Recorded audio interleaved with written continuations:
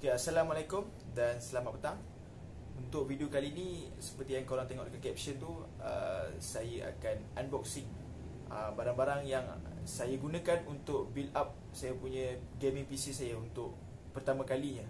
So, kenapa saya tak hantar kedai ataupun beli dengan kedai terus? Sebabnya first, uh, jimatkan kos. And then second, So daripada, daripada sini saya dapat belajar sendiri apa barang-barang yang saya perlukan dan yang mana satu yang paling bagus lah. So saya buat review saya sendiri, saya buat saya punya research sendiri. Jadi alhamdulillah uh, atas uh, nasihat kawan-kawan dan juga keluarga untuk saya set up dengan bajet yang saya ada. So tanpa melengahkan masa lagi, jom. Okey untuk gaming PC saya, uh, motherboard saya akan gunakan Gigabyte B450M DS DS3H Alright? So nanti kita tengok macam mana Apa yang disediakan dalam kotak ni. Okay yang kedua Untuk prosesor saya menggunakan AMD Ryzen 5 Ryzen 5 3600 Ryzen 5 3600 uh, 6 core 12 thread processor. So korang boleh tengok kat sini. Alright? So yang mana kalau nak buat sebagai reference korang Untuk gaming PC korang akan datang. So Ni pun antara yang terbaik Sebabnya dapat review daripada kawan-kawan dan sahabat-sahabat yang agak uh, pro dalam bidang gaming ni Mereka suggestkan ini. Okay, so kita tengok cara nanti.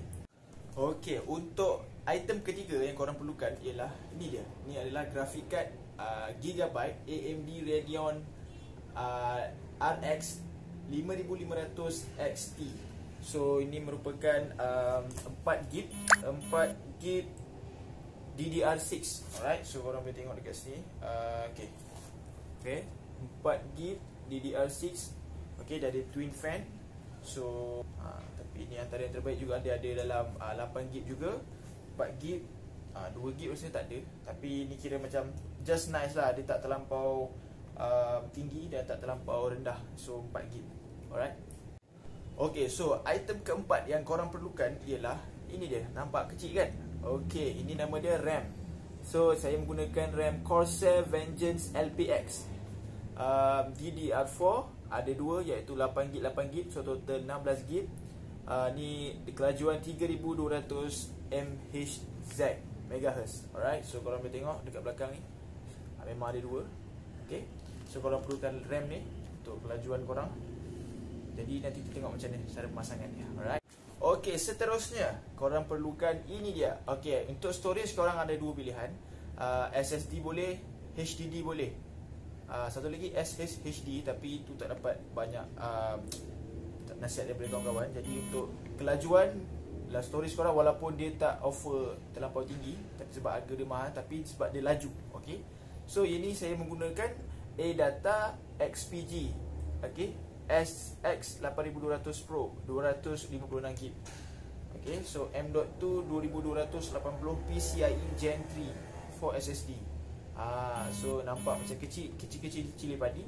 So 256GB Okay, untuk storage korang. Ah, Okay, so Seterusnya. Tak, Kalau tadi kita ada SSD So kali ni saya tambah sekali dengan Ini dia, nama dia HDD Okay, internal hard disk drive So saya menggunakan uh, brand Western Digital 1TB West WD Blue eh. Kalau short form ini WD Blue 1TB so SATA 6GB dan ini okey dia punya kelajuan dia tuj- RPM dia ialah 7200 RPM so agak tinggi lah.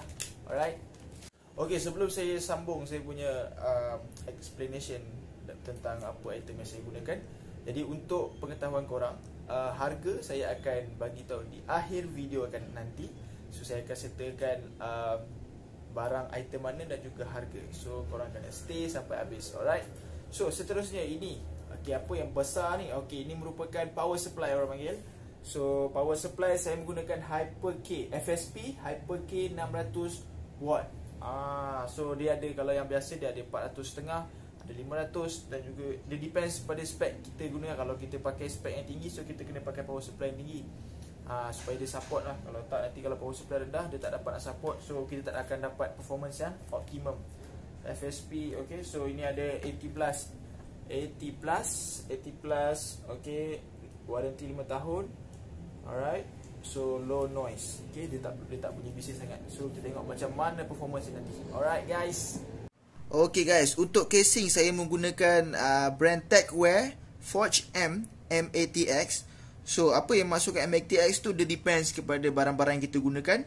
So kalau kata motherboard kita MATX, so kita boleh guna MATX lah. Ah, uh, so dia lebih kecil dan compact.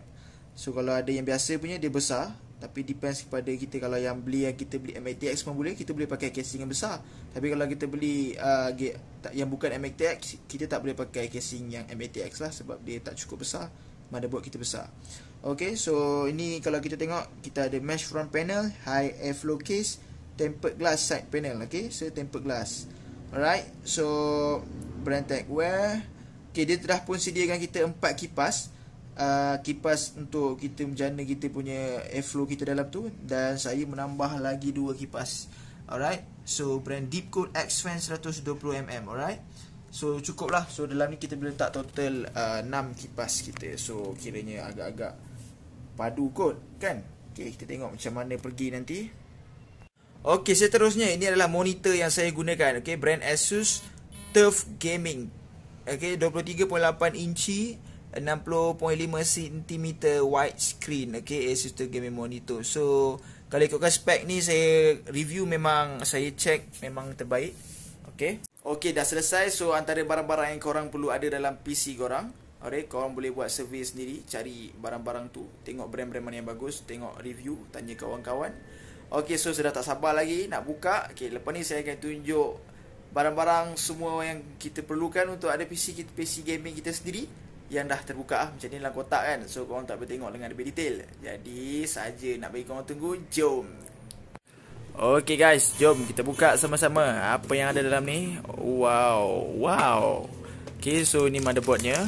Alright. So dia ada sediakan kabel dekat sini. Alright. So aku pun tak tahu. So nanti aku akan check dan aku akan inform dengan korang. So yeah, motherboard ni kena pegang elok ah kan ada yang rosak susah. Alright. So korang boleh tengok So kita asingkan dulu Letak pelan-pelan Huh bahaya So apa lagi yang ada Ah, okay, itu saja. Ada, okay. Ini adalah buku manual. Alright. Dan juga penutup dia lah. Penutup casing nanti. Okay. Okay guys, seterusnya processor. Alright. So kita akan buka. Ini kena buka elok-elok ni. Bahaya ni kan. Okay guys, dah buka guys. So, bismillahirrahmanirrahim. Ha, macam mana? Ya, itu dia. Okay, tak apa. Kita letak dulu. Tengok apa lagi yang ada dalam kotak ni. So, okay. So, basically ni... Okay, tak apa. Alright. So, ada manual instruction. Oh ini yang sakit ni sebenarnya okey. Inilah dia processor tu ya. AMD Ryzen 5 3600. Okey yang besar ni dia punya kipas. Alright. Rust tadi kan saya dah cakap Rust Rough steel cooler dia ada bagi sekali kipas letak atas um, processor kita. Okey, itu dia. Wow. Itu dia. Itu dia guys. Alright. So, jom tengok untuk barang seterusnya. Okay guys, seterusnya graphic card kita. Okay, so macam mana kita nak buka ni? Bismillah. Oh, itu dia. Okay. Alright. Wow. Okay. Ada dua kipas. So, macam mana nak buka ni? Oh, ni lah.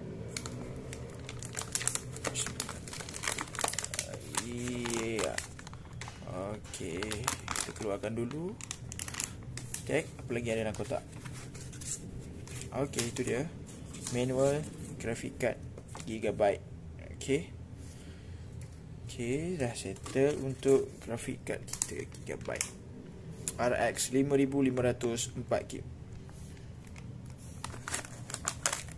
Okay guys, seterusnya ini dia RAM kita 7 Gen X LPX DDR4 3200 so dalam kotak ni ada buku manualnya dan juga RAM-nya lah. Itu dia RAM. So kau boleh tengok.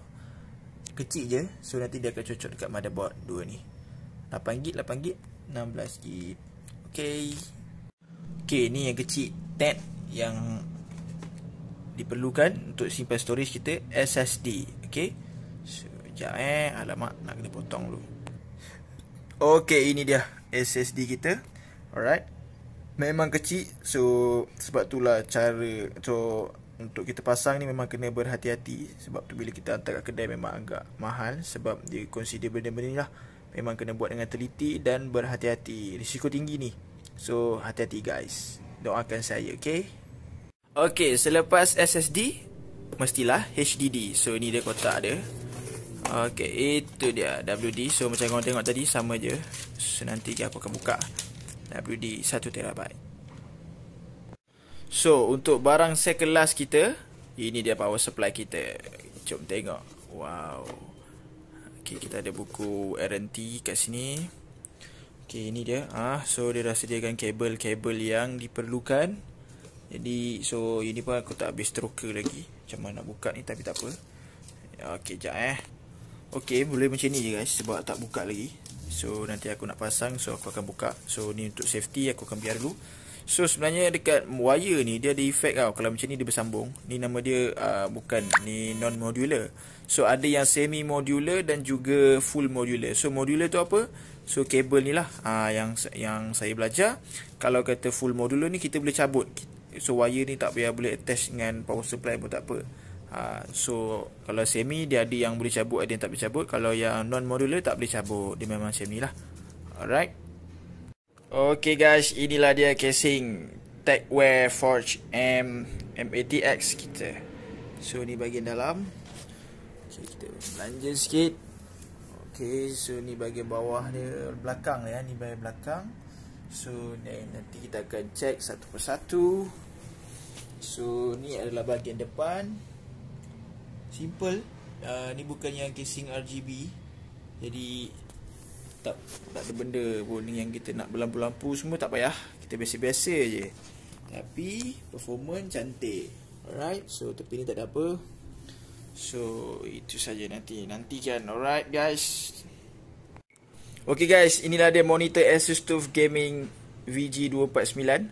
Dia sediakan 3 kabel dan juga manual. Okay. Okay, so kalau korang semua nak tengok bagaimana performance ataupun uh, gambar sebenar Asus TUF TUF Gaming ni kita tengok di video akan datang okey? So itu saja untuk video kali ini. Stay tune guys. Assalamualaikum